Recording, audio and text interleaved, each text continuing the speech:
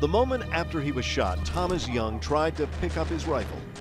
When his arms wouldn't move, he realized it was bad. I knew something was uh, terribly wrong, so I tried to scream, Take me out, somebody kill me. Instead, doctors saved him and sent him home, paralyzed. Now the soldier, once willing to lay down his life for his country, only wants to lay down and die. I've watched my body deteriorate. And The people who knock these buildings down will hear all of us soon. Young enlisted just days after 9 11, wanting to fight those who had attacked America. I was nothing but proud. And my son was going to go defend our country. But instead of Afghanistan, in 2004, Young found himself in Iraq, a nation he says did nothing against the U.S.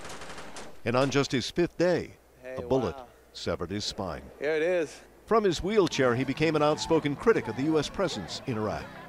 It bothers us to see not only how he's handling the war, but the problems we face don't seem to get through to them. They don't seem to care because they don't have any personal investment in the war.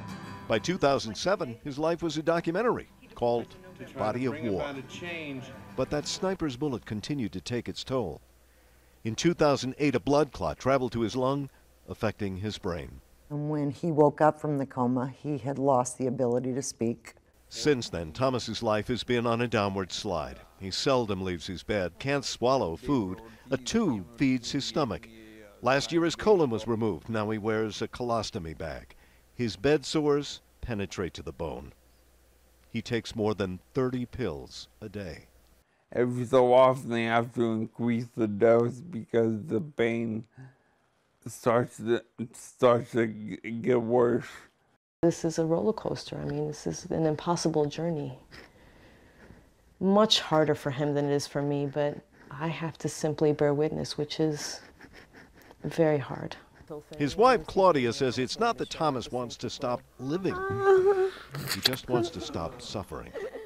Unable to swallow pills, unable to pull a trigger, unwilling to implicate anyone else, Thomas plans to starve himself to death. I support his decision. And the woman who gave him life understands. A lot of what Thomas was and who Thomas was is gone now, anyway. I've already mourned that. So I'll just pick up the pieces. And... But not everyone agrees with his choice.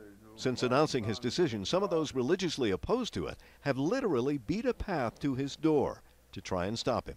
They feel like they have the right to impose their view on our unique human lives and situation. Young has still to choose an exact date when he will start to carry out his plan. But with so many gravely wounded vets returning home from back to back wars, he is certain he won't be the only one looking to find the right day to die. Martin Savidge, CNN, Kansas City.